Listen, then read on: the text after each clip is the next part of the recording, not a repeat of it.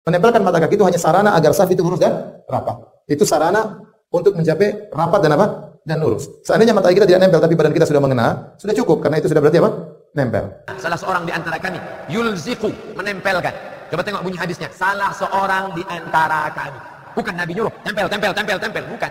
Salah seorang di antara kami ada yang menempelkan. Artinya yang nyaman ditempel. Kalau dia nyaman ditempel, tempel. Tapi ada orang yang tak nyaman ditempel. Ketika ditempel dia geli, dia geser.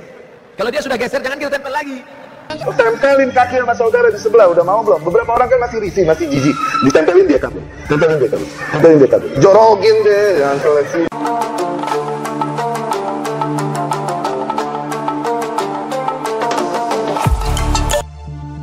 Nyata tidak, jika merapatkan soft ketika sholat dengan harus kaki mekangkang dan jika tidak maka berarti telah menyalahi sunnah Rasulullah sallallahu alaihi wasallam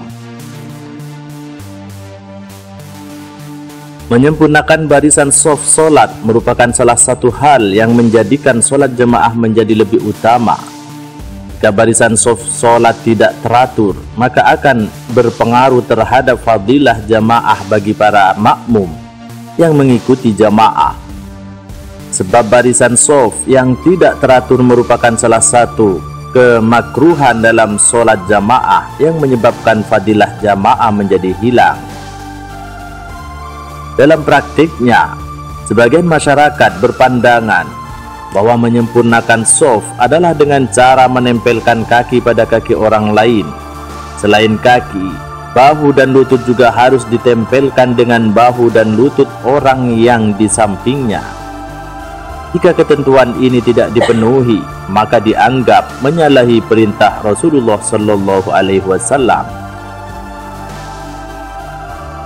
Memang dalam salah satu hadis dijelaskan bahwa Rasulullah sallallahu alaihi wasallam bersabda, An Anas, anin Nabi sallallahu alaihi wasallam qala, Aqimu sufufakum fa inni arakum min wara'i dhahri wa kana ahaduna yulziku mangkibahu bimangkibi sahibihi wa qadamahu biqadamahi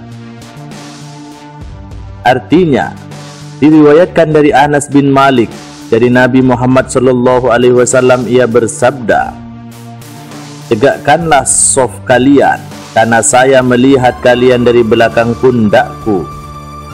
Ada di antara kami orang yang menempelkan bahunya dengan bahu temannya dan menempelkan telapak kakinya dengan telapak kaki temannya.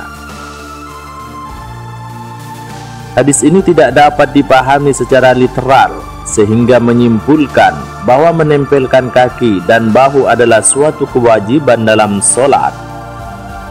Pemahaman demikian tidak dibenarkan sebab hal tersebut sebenarnya hanya dilaksanakan oleh sebagian sahabat Nabi saja, tidak secara keseluruhan. Sedangkan segala hal tentang sahabat hanya dapat dijadikan hujah ketika memang dilakukan oleh sahabat secara keseluruhan, bukan sebagian. Hal demikian seperti yang dijelaskan dalam kitab Al-Ahkam fi Usulil Ahkam. Wa yadullu ala madhhabil aktsarina anna adh-dhahira min as-sahabi annahu innama awrada dhalika fi muridil ikhtijaj wa innama yakunu dhalika hujjatan illa kana ma naqalahu mustaniddan ila fi'lil jami'i. Di anna fi'lal ba'di la yakunu hujjatan alal ba'dil akhar wala ala ghairihim. Artinya menurut pendapat mayoritas mazhab bahwa hal yang tampak dari para sahabat memang disampaikan dalam kasus penyampaian hujah. Namun, dari hal tersebut yang dapat dijadikan hujah hanya ketika memang apa yang mereka nukil disandarkan pada perbuatan seluruh sahabat. Sebab perbuatan sebagian sahabat tidak dapat dijadikan sebagai hujah atas sebagian sahabat yang lain dan juga tidak menjadi hujah bagi selain sahabat.